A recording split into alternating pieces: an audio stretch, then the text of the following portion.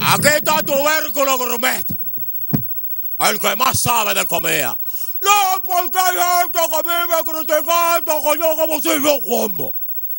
Porque yo creo que el hombre que come.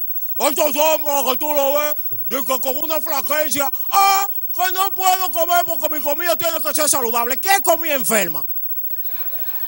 Toda la comida es saludable, vamos a estar claros. Hay muchos hombres que llegan a su casa y antes de llegar dicen, ya mujer, me voy, prepárame tal cosa. No, la mujer que no quiere sabe lo que a usted le gusta. Comer. Yo no respeto marca. A mí me pueden guardar desde caviar hasta guineo y yo soy feliz con eso.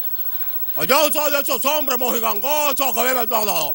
Yo cuando llego a mi casa ni prendo radio ni televisor. Yo sé para dónde voy, para la cocina, que es la parte más sagrada del hogar, la cocina. Y de ahí yo mismo llevo mi comida. A mí la mujer no tiene que quedar viaje para un comedor. No, yo donde esté ahí me la como.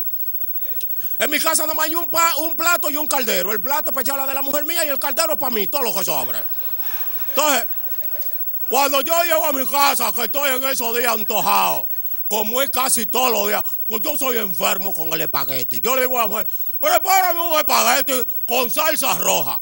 Pero mire, esos hombres que tú que la mujer le llevan eso con salsa roja, sequecito así, que cuando eso está bajando le arruña la garganta como que es un gato que va bajando, no lo quiere. La mujer tiene que prepararle su espagueti con salsa roja, pero también tiene que echarle su leche carnation queso. Porque cuando usted prepara, por ejemplo, mire qué plato, mire, se me hizo la boca y los ojos agua. Yo en vez de hambre lo que tengo es ganas de llorar. Porque tengo temor a que eso se me acabe rápido.